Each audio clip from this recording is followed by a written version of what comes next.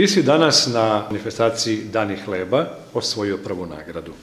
Evo, reci nam za portal Plus Online, kako je bilo, da li si nagradu očekivao, s kim si radio, da li si imao ekipu ili je sve to bilo delo tvojih ruku? sad ću da vam kažem, ovo sve, ovo sve što vidite na ovom stolu, to sam osmislio ja, ja i uradio sam ja slavski kolač. Svako od učesnika je radio svoj kolač, svoje ukrase. Takmičenje je bilo Mislim šestoko je bilo zato što je bilo je dosta konkurencije, bili, bilo je tu ljudi iz drugih, iz drugih gradova. Na takmičenju je postojala su pravila, propisi, ocenjivalo se sve od toga kako, da li je čisto radno mesto, da li si dobro odmerio sirovine. E, tu je bio žiri koji je nadgledao naš rad. Žiri nije uticao, uticao mislim, na regularnost, ništa. Oni su prolazili, gledali su, ocenjivali su svakog učesnika.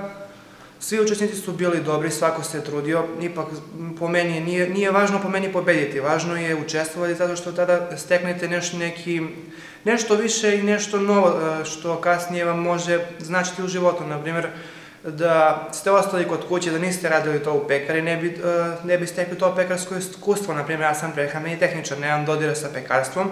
Tek od prošle godine sam krenuo da radim ovde u pekarici. Naučio sam da pravim slavski, slavski kolač, naučio, naučio sam da pravim e, sukanu pitu, naučio sam da pravim neke kolače, ali to se sve stekne vežbom, ne može, na primjer, meni u početku nije sve išlo sjajno.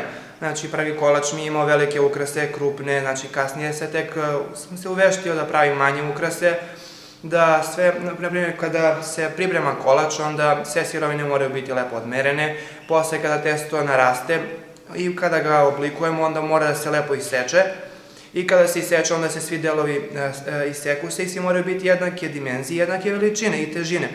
Nakon toga sledi pečenje, znači postoji 40 minuta pre pečenja fermentacija. Nakon fermentacije se pogača premaže jajima, stavljaju se ukrasi ide, i onda a, ide na pečenje.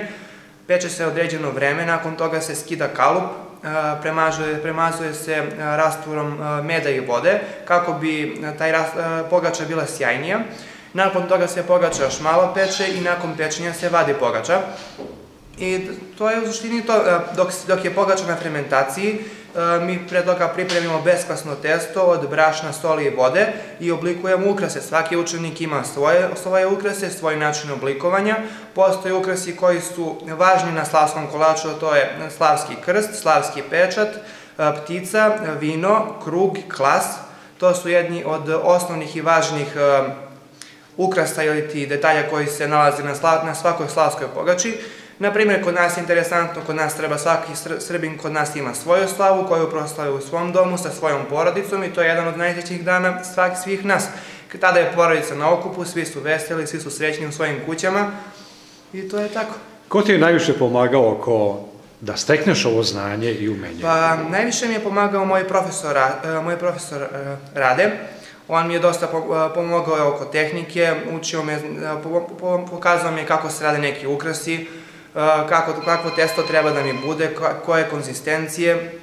On me, mislim, on mi je dosta, kako da vam kažem, on je meni bio kao neki uzor, primer, on je ipak meni profesor. Ali tu i tvoja inicijativa, I moje, da si ti sam oko toga zainteresuješ. Jeste, da, da. Bitno je to da si uporan, nije bitno, na primjer, sad, ja sam se takmičio i prošle godine, nisam osvojio, na primjer, prošle godine, nisam osvojio neko mesto, bio sam treći, ali to nije... Da li ovo definitivno znači da si ti budući pekar, odličan pekar? Pa gledajte, to možda znači, ja, ja, ja mislim imam u planu to da razmišljao sam se da kad nekad posle završim fakulte da otvorim svoju pekaru ili poslastičaru. Tako da to je deo posla koji baš volim i sa uživanjem radim ovde u pekari. Sve čestitke. Hvala.